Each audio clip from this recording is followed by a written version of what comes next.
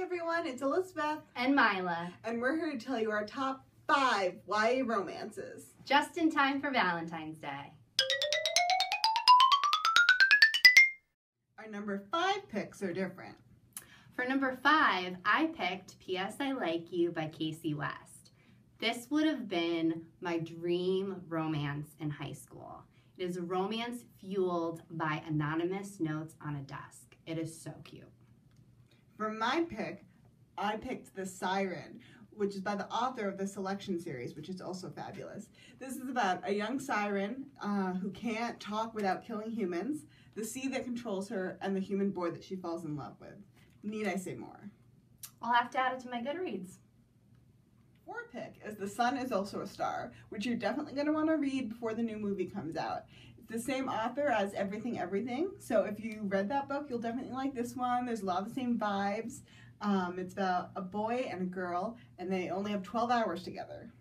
They meet at the worst time because she is about to be deported, and he is avoiding a very important appointment.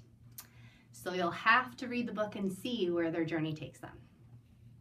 Our number three is Simon versus the Homo sapien agenda. This book is about lovable, relatable Simon and his own anonymous romance via texting and email. You might have seen the movie Love Simon that came out recently, or you might have read some of the author's other books. She has two more books that are in the Simon verse that are equally as lovable and romantic. Her two pick is To All the Boys I've Loved Before, and it's gained recent popularity due to the Netflix movie, which was pretty true to the book, but if you haven't read this first book in this amazing trilogy, you have to. It's obviously a book that Myla and I really, really enjoyed. It's just fabulous.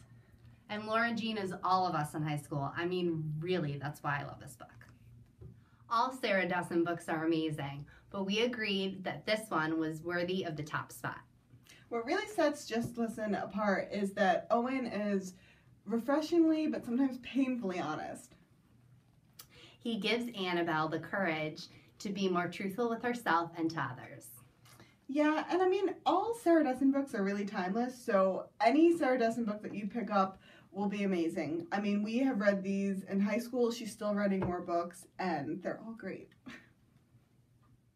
Stop by the library today to check out any of these titles. And plenty more.